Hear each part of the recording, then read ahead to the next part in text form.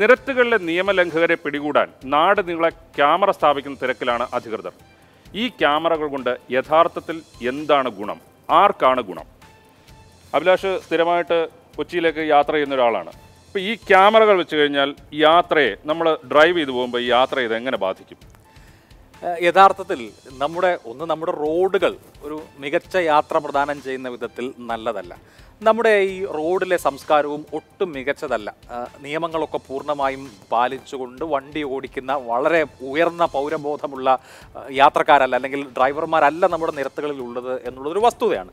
അപ്പോൾ ഇത് തടയാൻ അതല്ലെങ്കിൽ ഇത് കുറെ കൂടി റോഡ് നിയമങ്ങൾ പാലിച്ച് സുരക്ഷിതമായി വണ്ടി ഓടിക്കൽ എന്നുള്ളത് അത് ഈ ബോധവൽക്കരണം കൊണ്ട് മാത്രം ഒരു തരത്തിൽ നടപ്പാക്കാൻ കഴിയുന്ന ഒന്നല്ല. അതിന് ഈ പറഞ്ഞതുപോലെ നമ്മൾ മറ്റു പല രാജ്യങ്ങളിലും ഒക്കെ ഉള്ളതുപോലെ. ഇതേ മലയാളി ദുബായിൽ പോയാൽ അല്ലെങ്കിൽ യു എയിൽ പോയാൽ വണ്ടി ഓടിക്കുന്നതും അയാൾ ലീവിൽ വന്നിട്ട് കേരളത്തിൽ വണ്ടി ഓടിക്കുന്നതും തികച്ചും വ്യത്യസ്തമായ നിലയിലാണ്. കാരണം അവിടെ നിയമത്തെ പേടിയുണ്ട് ഇവിടെ നിയമത്തെ പേടിയില്ല. അപ്പോൾ ആ, തരത്തിൽ നിയമത്തെ പേടിക്കേണ്ട വിധത്തിലുള്ള ഉയർന്ന പിഴ ശിക്ഷ അടക്കമുള്ള കാര്യങ്ങൾ നൽകുന്നതിൽ തെറ്റൊന്നുമില്ലെന്ന് എനിക്ക് തോന്നുന്നു. ഇവിടെ എ ഐ ക്യാമറ അതാണെങ്കിൽ ഈ സ്പോട്ട് നോക്കി വെച്ച് അവിടെ മാത്രം മര്യാദ പാലിക്കാനും വേഗത മാത്രമല്ല. വേഗത മാത്രമല്ല മൊബൈൽ ഫോൺ ഉപയോഗം എല്ലാ കാര്യങ്ങളും എല്ലാ കാര്യങ്ങളും. അപ്പോൾ ഇത് വളരെ കൃത്യമായി. പിന്നെ കേരളത്തെ സംബന്ധിച്ചൊരു വലിയ പ്രശ്നം ഈ മോട്ടോർ വാഹന നിയമം നടപ്പാക്കുന്നതുമായി ബന്ധപ്പെട്ടോ അതല്ലെങ്കിൽ എന്ത് കാരണം കൊണ്ടോ ഈ വഴിയിൽ കൈ കാണിക്കുക പിന്നെ യാത്രികരെ ഹരാസ് ചെയ്യുക എന്ന മട്ടിലുള്ള ഒട്ടും സംസ്കാര സമ്പന്നമല്ലാത്ത വിധത്തിലുള്ള നിയമപാലനം ഇവിടെ നടക്കുന്നുണ്ട്. ഇത് പൂർണമായും ഈ തരത്തിൽ എ ഐ ക്യാമറയുടെയും ഈ ഓട്ടോമേറ്റഡ് സംവിധാനത്തിന്റെയൊക്കെ നിലയിലാണെങ്കിൽ ഈ പറഞ്ഞ റോഡിലെ ചോദ്യം ചെയ്യലും മറ്റു കാര്യങ്ങളൊക്കെ ഒരർത്ഥത്തിൽ ഒഴിവാകും. പിഴ ഇത് നിങ്ങളുടെ നിയമലംഘനം ഇതാണ് എന്നതിന്റെ തെളിവ് സഹിതം അയക്കാനുള്ള നോട്ടീസ് വരികയാണല്ലോ ചെയ്യുക.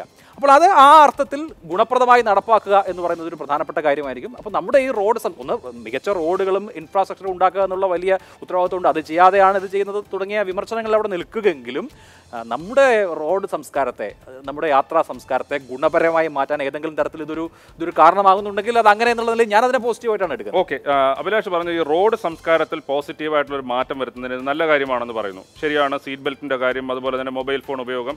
ഇതൊക്കെ ഏത് ഇനി വേഗത കൂടുമ്പോഴാണെങ്കിലും കുറയുമ്പോഴാണെങ്കിലും ഒരു പ്രശ്നം തന്നെയാണ്. ഇപ്പോൾ ഇത് ഹൈക്കോടതി ചെന്നപ്പം കോടതി പറഞ്ഞ ഒരു കാര്യം ഇത് വേഗത സംബന്ധിച്ചിട്ടുള്ള കൃത്യമായ ഇൻഡിക്കേഷൻസ് സൈൻ ബോർഡ്സ് ഒക്കെ വെച്ചിട്ട് നിങ്ങൾ നടപ്പാക്കണം എന്ന് പറഞ്ഞു. അഭിലാഷ് പറഞ്ഞ കാര്യത്തിൽ ഇതിനോടൊക്കെ എനിക്ക് യോജിക്കുന്നു. പക്ഷേ ഈ വേഗതയുടെ കാര്യത്തിൽ ഇങ്ങനെ റെസ്ട്രിക്ഷൻസ് വെക്കുന്നതിനോട് സത്യം പറഞ്ഞു കഴിഞ്ഞാൽ എനിക്ക് യോജിപ്പില്ല. പ്രമേഷനോ? അല്ല അത് ശരിക്കും നമ്മുടെ റോഡുകളെല്ലാം ഇപ്പോൾ നാലുവരിപ്പാതയും ആറുവരിപ്പാതയും ഒക്കെ ആയി കൂടുതൽ ബൈപ്പാസുകൾ വരുന്നുണ്ട്. അപ്പോൾ വേഗതയിൽ സഞ്ചരിക്കാനുള്ള റോഡുകൾ പ്രദാനം ചെയ്യുന്നതോടൊപ്പം തന്നെ വേഗത നിയന്ത്രിക്കുകയും ചെയ്യുന്ന വേണം. ഒരു ഒരു ഒരു ഒരു ഒരു മാർഗമായിട്ടാണ് എനിക്ക് തോന്നുന്നത് അവർ ഈ ഈ ഈ നിയമങ്ങളെ കാണുന്നത്.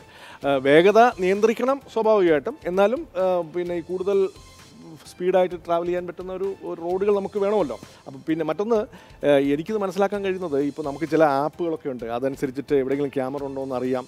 അറിഞ്ഞിട്ട് അതിനിടയിൽ കൂടുതൽ വേഗത കൂട്ടാം. അതും പിടിക്കും. രണ്ട് ക്യാമറകൾക്കിടയിലുള്ള സമയമൊക്കെ നോക്കിയിട്ട് ഇവർ വേഗത കൂടുതൽ അപ്പോൾ എങ്ങനെ നമ്മൾ മിനിമം സ്പീഡിൽ കൂടുതൽ ഓടിച്ചാൽ പിടി വീഴും എന്നുള്ളതാണ് ഉറപ്പ്. അത് എത്രമാത്രം എനിക്ക് തോന്നുന്നു വേഗത ഇഷ്ടപ്പെടുന്ന രാജീവിനെ പോലുള്ളവർക്ക് ഇഷ്ടമാണ് ഞാൻ വേഗത ഇഷ്ടപ്പെടും അതിന്റെ കാര്യമല്ല. അതായത് നമ്മളുടെ റോഡിൽ പലപ്പോഴും വളരെ ഒച്ചഴിയുന്ന വേഗത്തിൽ നമ്മൾ പോയി ട്രാഫിക് ബ്ലോക്കിലൊക്കെ പെട്ട് ഇവിടെ നിന്ന് എറണാകുളം വരെ പോവുകയാണെങ്കിൽ അത് കഴിഞ്ഞ് നമുക്ക് വേഗതയിൽ പോകാൻ പറ്റുന്ന അല്പസമയം കിട്ടുന്നിടത്തായിരിക്കും ഈ ക്യാമറകളൊക്കെ ഉണ്ടാകുന്നത് അത് നേരത്തെ പറഞ്ഞതുപോലെ ഈ സ്പീഡ് ലിമിറ്റ് വ്യക്തമായി എഴുതി വെക്കണം എല്ലാവരും പിന്നെ അതുപോലെ തന്നെ ബോധവൽക്കരണം പ്രധാനപ്പെട്ടതാണ്. ഇതിനകത്ത് ഈ ട്രാഫിക് നിയമങ്ങളെ നിയമങ്ങളെക്കുറിച്ച് സാധാരണ എത്ര പേർക്ക് അറിയാം? ഞാൻ ഒരു ഉദാഹരണം പറയാം. ഈ ടൂ വീലറിൽ മൂന്ന് പേർക്ക് സഞ്ചരിക്കാൻ പാടില്ല എന്നാണ്. രണ്ടായിരം രൂപ പിഴയാണ്.